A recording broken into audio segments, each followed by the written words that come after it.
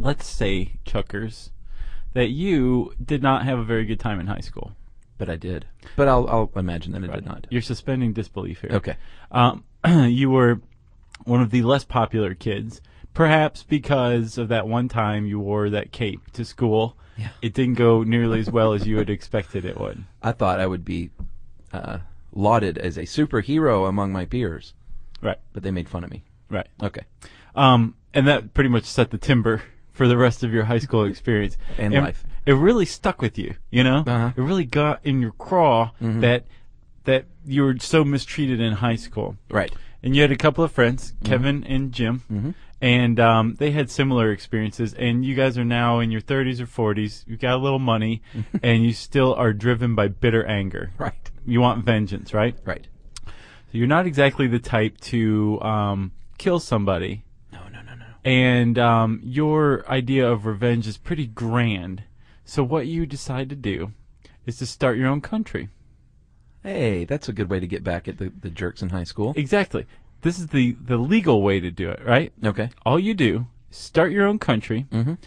um, and you invite these guys to come visit, and then throw them in prison the moment they get there. Okay. Done. Maybe even put them on a terrorist watch list before they get there. Uh huh. and not alert your authorities Yeah. of what's going on, and then just sit back and wait for the uh, the good times to roll. Right. Okay? All right. Done. There's a couple of problems here. Okay. One, you have no idea how to start your own country. Well, I do in real life because I've read your article, but yeah, Well, that's what I was going to say. We're here to tell you. that's right. So everyone who hears this podcast will know how to start their own country, pretty much, and it's easier than you'd think. Uh, in theory, sure. Well, let's let's talk about it, Chuck. All right. Okay. Well, one way, Josh, that you can do so, and history has shown that it's it's works, is uh, a larger nation, let's say Great Britain. They used to be into colonizing places all over the world, Yeah, here, there. lovely places to, that they like to relax on the beach, Mm-hmm. and um, they did so. Well, Rhodesia is not exactly on the beach, but I was speaking of like the Virgin Islands. Sure. Uh, but they did that. A larger nation uh, colonized a smaller one and changed the name to Rhodesia and said, "This is a new country." Yes, you are now Rhodesians. Yep. And if you don't like it, we've got guns here. And that is one way to do it. And then there's the opposite way to do it. Uh huh. You could be a Rhodesian and be like, you know what? We have guns now too. Right. Or Zimbabwe. And now this place is called Zimbabwe. Yeah. Yeah. Zulu, Zulu, Zulu, Zulu. Yeah. Um, and then there's, uh, let's see, the kind of secession that where you go buy an island Yeah. and basically say, okay, this island is now its own thing.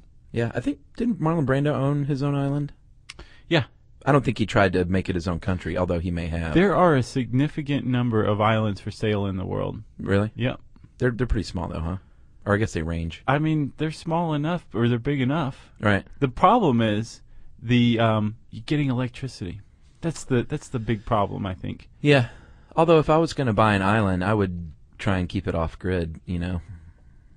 Or or you know, do the solar thing or you something really? like that. Sure, yeah. Heck yeah. Oh man, I'd deck my island out Well, I'd want mine decked out though, but you can still deck it out with solar panels and like the the uh, Swiss Family Robinson or something. Yeah, yeah. Okay. That's that's just how I roll.